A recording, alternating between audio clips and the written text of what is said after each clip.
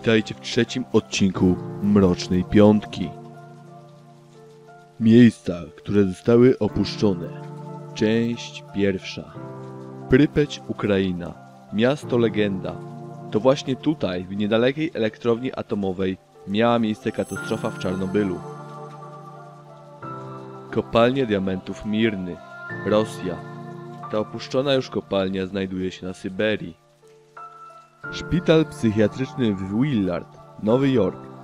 Budynek został zbudowany pod koniec XIX wieku i służył leczeniu ciężkich chorób psychiatrycznych przez około wiek. Został zamknięty w 1996 roku. Mógł pomieścić 4000 ludzi. Przewinęło się przez niego 50 tysięcy, z czego połowa umarła. Six Flags Jazzland, Nowy Orlean, USA. Luna Park zniszczony podczas huraganu Katarina, który spowodował potężne zniszczenia w mieście. Od tej pory stoi nieużywany, choć są plany jego wskrzeszenia. Wrak SS America, Wyspy Kanaryjskie.